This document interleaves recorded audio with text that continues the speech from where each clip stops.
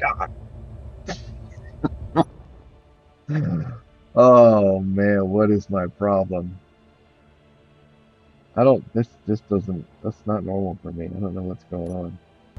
I mean, I make mistakes, of course, all the time. Uh, but this this particular mistakes with the with the keys, I don't usually do that. And the reason is because specifically because I used to make the mistake, you know. So now I, I always know like like hotbar one is always like basic flight. Position one is always like battery recharge.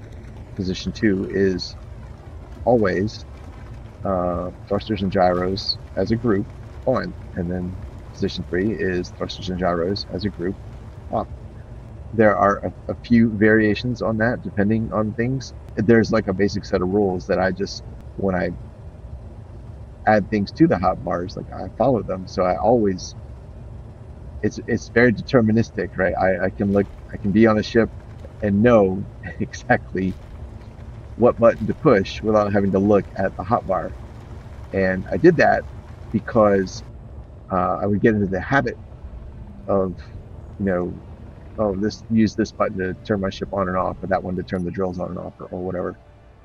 And then I would get in a different ship, and out of habit, I'd push a button like without thinking, and then boom, kill the power or something like that. So I, came up with this design set of heuristics of like, you know, it always works like this, you know, or I always have these systems in these locations or these hot, hot these positions on the hot bar.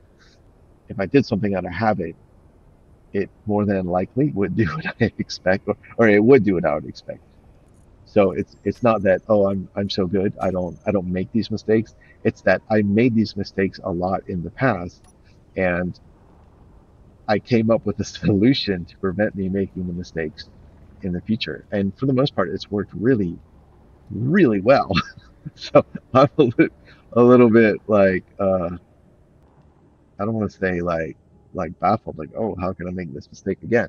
But it's um, just, just because like, like I, I, I took specific steps and those steps have been very successful. Like it's worked it's been a good system uh, until all of a sudden today uh, I'm making these these mistakes that I haven't made in in, in out in many thousands of hours.